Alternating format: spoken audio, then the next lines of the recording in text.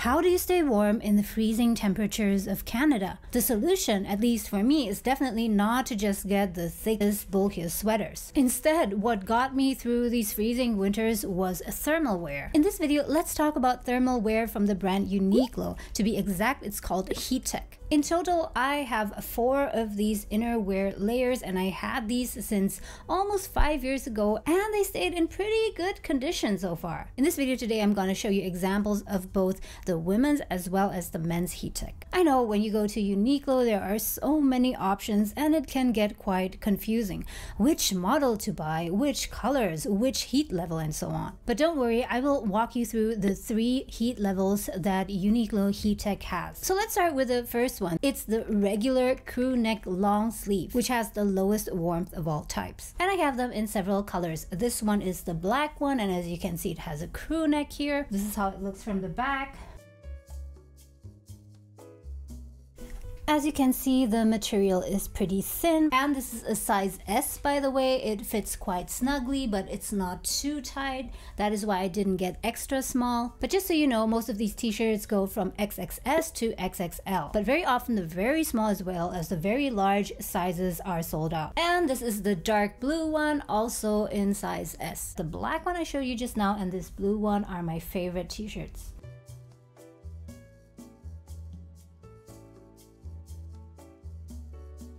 And these ones, which are the least warm, also happen to be the cheapest.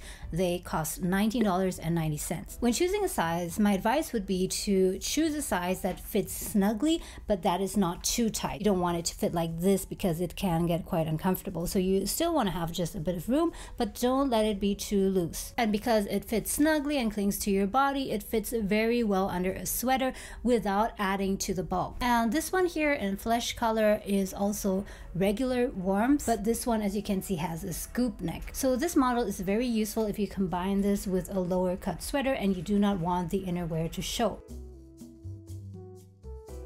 Personally, I think that this flesh colored one is ugly, but it's very useful actually, especially if you combine it with a top that is white, because if you wear something that's white and have a flesh colored top underneath, it will not show through. And this is the other scoop neck that I have. This is also regular warmth, and I know that the color of this is a bit weird. I think I got this in the discount section and it was on sale. So usually when you go to the sale section, you will find colors that are not very popular, but nonetheless are very useful. But if you need several of these tops and you want to save money, then it can be a good idea to just get some that are not your favorite color but that are cheaper. There is one downside though to having this scoop neck. So this guys is a size S and it fits me very well but the only problem I have is that I find that the scoop is a bit too wide. The scoop is a bit too wide and if your shoulders are on the narrower side they're not really wide you might have the problem of either your bra strap showing or this constantly sliding down which can get a bit uncomfortable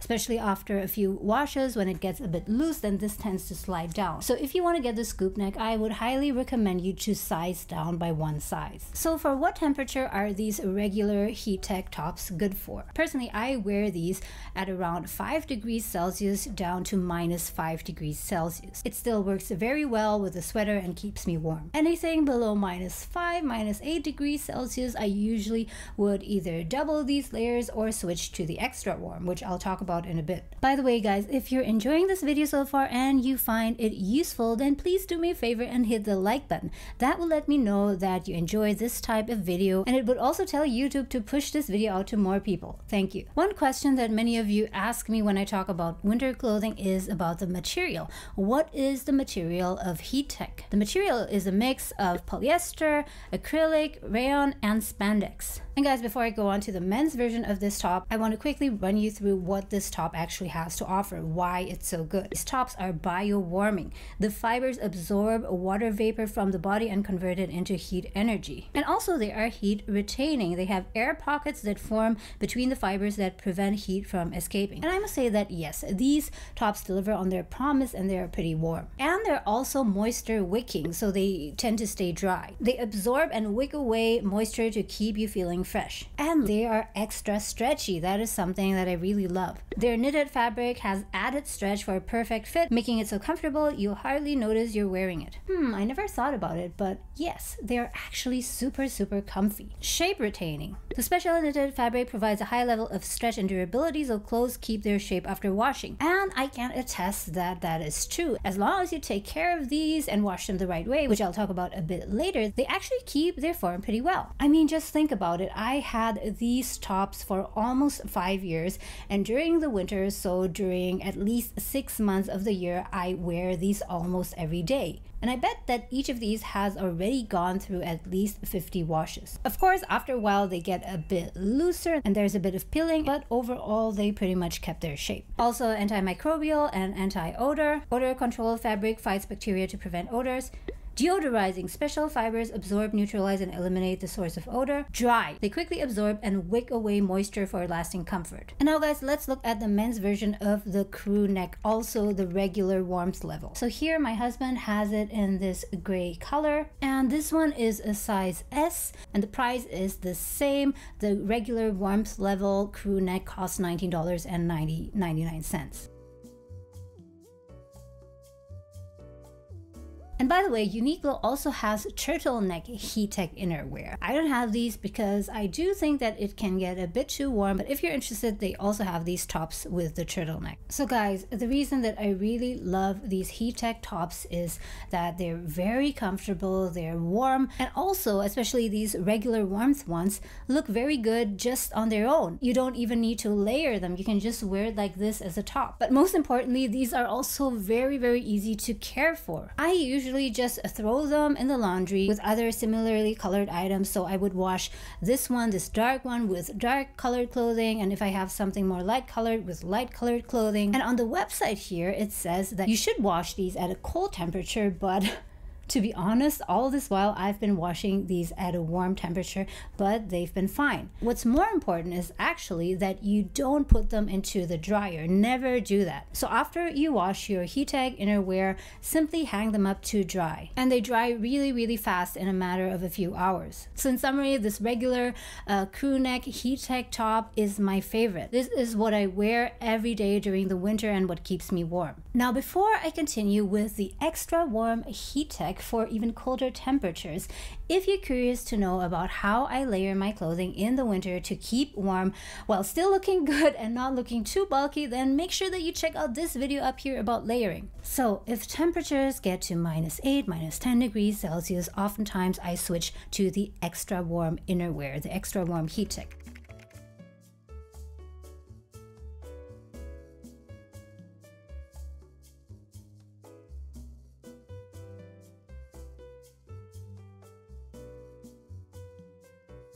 So this is one I have. It's gray and this I must say is already a bit worn out, but it still does its job fabulously. And as you can see, this one is thicker than the other one. This one is less transparent and indeed it's much, much warmer. And it's also more expensive. This one, the extra warm one, costs $29.99. And the extra warm version actually has cotton in it. So the material here is a mixture of cotton, acrylic, rayon, and spandex. So all these years, four to five years, I only had one of these extra warm tops. But this winter, I told myself, okay, I need to get another one. So last week we went to Uniqlo and my husband got himself a top and I also got myself one in olive color. And honestly, I must say that this is not my favorite color, but I don't have this in my collection yet. So I thought, why not? But the other reason is also that my husband got one in ultra warm in the color olive, but not exactly this olive. So that is why I thought, okay, let's just get an olive colored one too. Let's try it on. Whew, and yes, it's actually super warm. But by the way, today happens to be a very warm February day at 10 degrees Celsius, so that's why. Not the best day to try this on. So as you can see again, the material is much thicker than the regular one. So what do you think about the color? I think it's actually not too bad. But in any case, I must say that the regular ones look much, much better on their own compared to this extra warm one. So again, this one, this extra warm top costs $29.99 and this one is a crew neck, but they also have the extra warm one as a scoop neck. But the reason why I don't get a scoop neck and extra warm is because I want it to be warmer and I do not want this big gaping hole in the front here.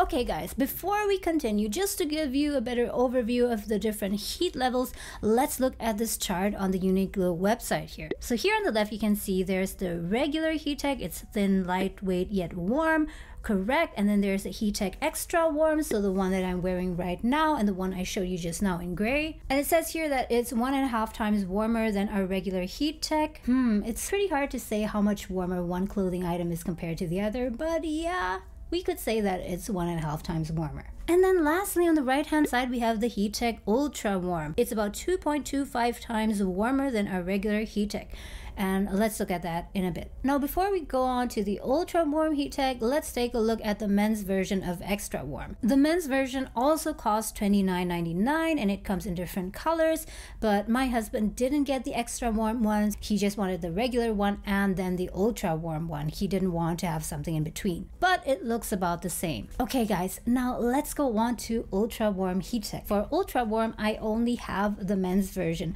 I personally didn't get the ultra warm one because I just found it too expensive at $39.99. And I also didn't really like the women's version. But anyways, so this is the men's version for ultra warm.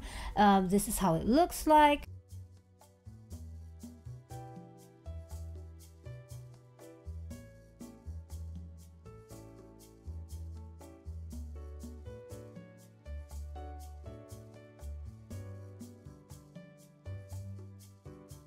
So my husband here is now wearing the one in size S and as you can see it fits snugly but it's not too tight and it's not too loose either. And you could actually just wear it like that on its own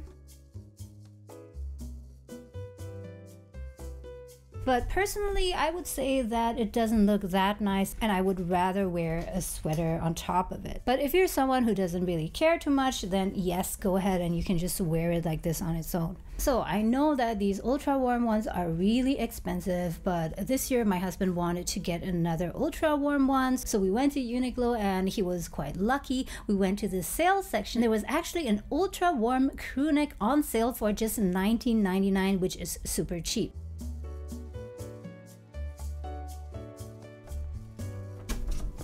But unfortunately, it came in a color that he was not too crazy about at first, at least. But let me ask him in a minute what he thinks about it. So, this is also olive, but it's a different colored olive. Let's just take a peek. And by the way, this is size M. I'm not really sure why he got size M. So if you look closely at the material of the ultra warm one, it is much denser, it is thicker, and yes, indeed, it's much, much warmer.